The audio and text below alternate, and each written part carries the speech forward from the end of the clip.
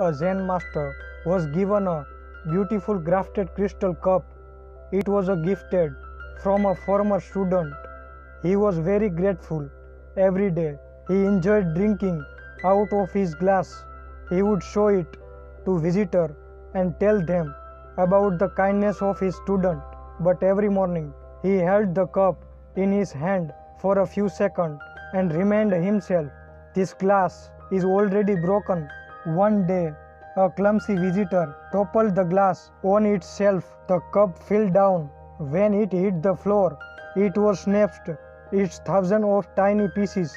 The other visitors gasped in shock, but the Zen master remained calm, looking at the mess in front of his feet. He said, Yeah, yes, let's begin. He picked up a broom and started sweeping